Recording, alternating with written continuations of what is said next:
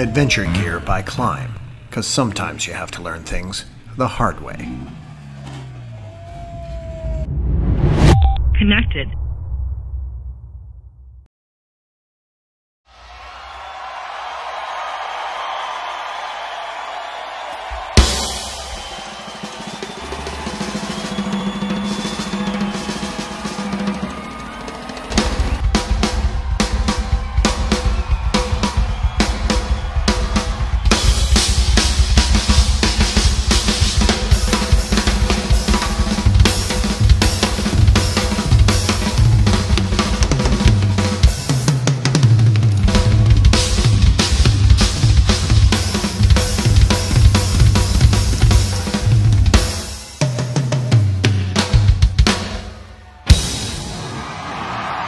Now you've been riding for since you were a wee little sprout, huh? Yes, since I was knee high to a grasshopper.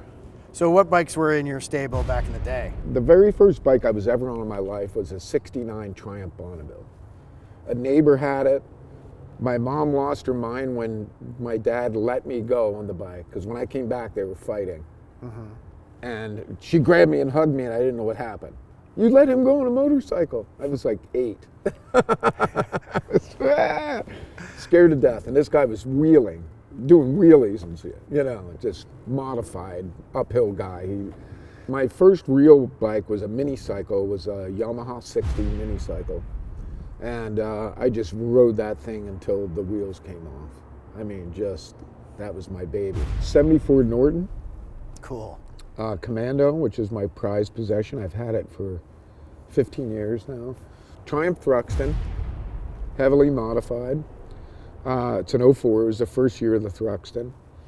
Um, and then moving on, uh, KTM 690 That's a Adventure R. That's a sweet bike. One of my favorite go-to bikes ever. I mean, if you're going to go 20 miles away from your house and hit the trails all day and then drive 20 miles back, that's the bike. You know, if you're going to ride 400 miles and do three days of camping, probably not. People do it, but. And then I have a um, 350 Husqvarna Enduro, FE 350, and uh, and then the GS. Darth. This bike is I named aptly named Darth because it is definitely from the dark side, as you can tell. Pretty much everything on it so far is black. Look, helmet head. In fact, I love it all. That's my problem. I love all motorcycles. And that becomes a problem for me at times. So growing up, who were your heroes? Did you have a, a guy? Evel Knievel, man. Was it? Yeah, you of watched that? Was it? Was it the clothes? The No, it was tracksuit? the balls that that guy had. you know? and the fact that he he was on he was on Harley most of the time. Evel Knievel. Harley, a Triumph? He had a Triumph? Yeah, man, it was like my buddy and I would, you know, get our bicycles and build ramps and jump, try to jump and crash and tear our knees up. And if we bled, it was cool. It's good for you when you're a kid. yeah, Less so now. less so now, yeah. So what about when you got a little older? Any yard sales? I mean, I've crashed a few times on dirt bikes to the point where I had to fly back from tour one time. And uh, that freaked me out a little bit. I lost a lot of my guts because I was fairly fearless before that. And uh, that just, uh, the bike came down on me and the peg went straight into my knee. Uh, it just, and I had pads on, but it just slipped right under the pad, bam, you know? And uh, so that really, that scared me pretty bad for a while. But yeah, I've broken a few things. I've twisted things up, you know, and And so when did when did music hit you? When when was Rikki Rockett born? I can remember exactly when there was a turning point. I had uh, my sister was babysitting for me. She was nine years older than me, and she was right in the middle of the hippie era, you know. And uh, I came home one night, look, ten minutes late. Okay, and she was babysitting for me. That was her perfect excuse to send me to my room and not have to deal with me and be able to have her friends over and smoked strawberry tobacco. She stuck me in there and she must have felt a little bit bad because she brought in a record player and a couple Beatles records. And eight days a week I listened to it about 50 times and started playing on a phone book and anything I could find in my bedroom to it. And I said, that's what I want to do. I want Ringo. to play drums like that minute, like I, I don't that night. So it's like I've thanked my sister for punishing me a few times. So how, how old are you? Nine, maybe. So you're think- ten, something like that. Drums, huge passion. Motorcycles, obviously, it's what connected us. There's another passion floating around Brazilian Jiu Jitsu. That's not widely known. When we lived in a warehouse in downtown LA, there was a girl that got raped, and we um, called the cops and got the guy busted. And a bunch of his friends came the next night to kill us because we got him thrown in jail. And uh, there was a guy, there was five guys. One of them was with a knife, and he was up in my face. And I swore that when that episode was over, I swore that I would learn how to defend against a knife. So you've been studying Brazilian Jiu Jitsu for nearly years. 20 years. Yeah. What's going on with Poison right now? You guys are in a semi hiatus, right? We're talking about touring. This a 30th anniversary. and you've put it out there to the poison camp that you're ready to go. You're riding bikes with the likes of me, training Brazilian Jiu Jitsu, but you're not bored because there's a new project happening too. You've got Devil City Angels. Devil City Angels. Yeah, we started that thing a year ago. Who's in the band? It's me. Hello. Uh, Tracii Guns, Rudy Sarzo, and Brandon Gibbs. So tell me about Brandon. Where did he come from? He played, uh, him and his brother had a, uh, like a hard rock blues based band. I said, I really like these kids. My drum tech got their number and stayed in touch. And they said, Would you produce a demo for us? And I'm like, Yeah, but you're in Iowa, I'm in California. They flew out.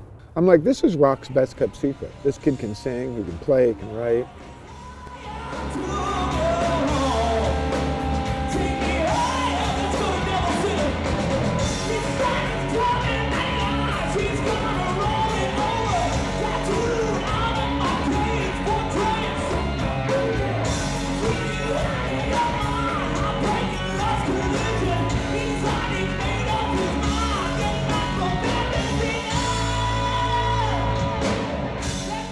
Nobody knows about him. I don't want a guy that's been around forever. I want somebody that has a lot of experience, but nobody knows about. That's a real tough one to find. Of, of all the bikes you've had, all the travels you've done, touring, moto touring, what has been the best ride you've ever done? I always ask, what's the ride of your life? For the last five years that Poison has toured, the five years leading up to the last two years that we didn't tour, we decided at 20 years we were going to have our own tour bus. I took my own tour bus, bought a trailer, took a bike every year. And that's when I started to get into this type of riding, where I'll take a tent, sleeping bag, a few things. On a day off, I just take off in some other direction. Don't take the hotel room. Find a campground somewhere. Just ride to it a couple hours, camp out all night, go run around, see things, come back, and then make it back to the show the next day. So, so you'd be rock star, and then during a day off or a rest day, you'd be tearing up the trails Right. and sleeping face down in a cactus somewhere. Right. And one year I had, well, a couple years I've had a Triumph and uh, and a bigger bike out with me usually.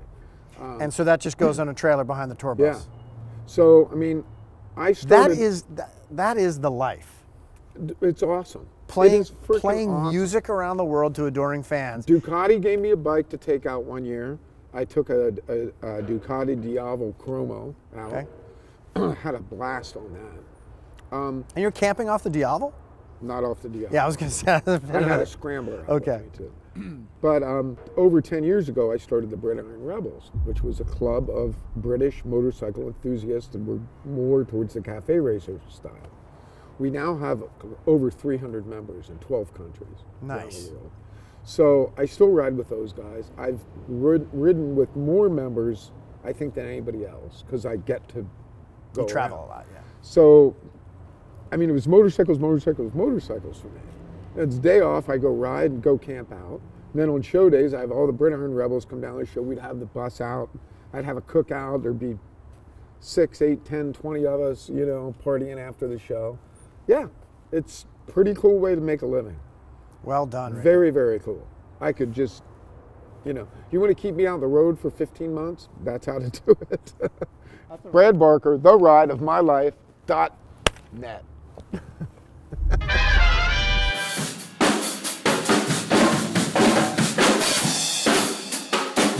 Well, that's the episode. Thanks so much for joining me on The Ride of My Life. Do me a favor, click the subscribe tab below so you can follow us and you won't miss any more episodes. And if you'd like to hear the podcast version of this, you can go to our podcast page on iTunes where we have The Ride of My Life there, and you can listen to some bonus tracks there as well. You can reach us at brad at therideofmylife.net and let us know what you think, where you'd like us to feature, if you'd like to come with us, or, uh, you know, give us some advice. We'd really like to hear what you have to say. Thanks so much.